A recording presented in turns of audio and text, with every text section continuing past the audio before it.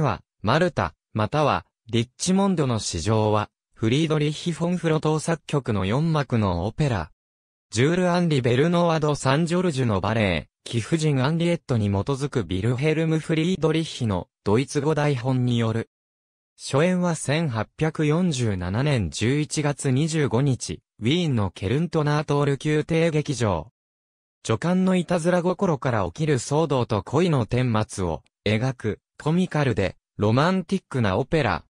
日本では庭のちぐさとして知られているアイルランド民謡、夏の名残のバラをテーマ曲としていることで有名。ウィーンフォルクスオーパー2008年日本公演の演目の一つとして上演された。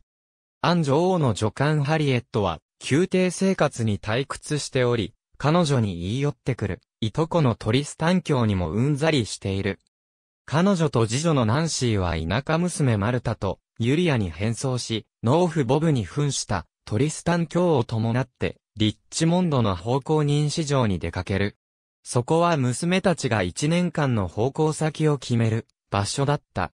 女中を探しに市場に来ていた若い農場主、ブランケットとギテー・ライオネルは、その場に似つかわしくない上品な物腰のマルタとユリアを見初め、ボブの妨害にもかかわらず二人を常駐に雇う契約をしてしまう。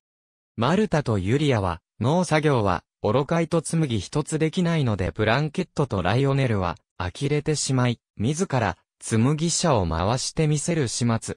それでもライオネルは、マルタの美しさと歌声に見せられ、結婚を申し込むのだった。マルタはライオネルに惹かれるものを感じつつ、それを拒絶する。夜になって、トリスタン教が馬車で訪れ、マルタとユリアをこっそり連れ戻す。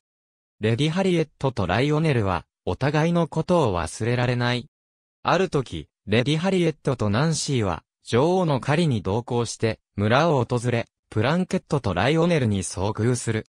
プランケットとライオネルが、女中契約の履行を迫るので、急したハリエットはライオネルを狂人だと言って逮捕させてしまう。皆が、レディと呼びかけることによって、ハリエットの本当の身分を知ったライオネルは、皆ただの遊びだったのかと嘆く。ライオネルは、身の証のために、亡くなった父親が、大事な時に使え、と言って残した指輪を役人に差し出す。指輪によって、ライオネルはかつて無実の罪で追放された、ダービー伯爵の維持であり、その爵位継承者であることがわかる。ハリエットはライオネルを訪れ、謝罪して、自分の気持ちを打ち明けるが、ライオネルのわだかまりは解けない。プランケットとナンシーは一計を案じ、皆が最初に出会った、リッチモンドの市場の様子を再現し、そこで、ライオネルとマルタを合わせる。わだかまりは解け、ライオネルは彼女を許し、二人は愛を確かめ合う。ありがとうございます。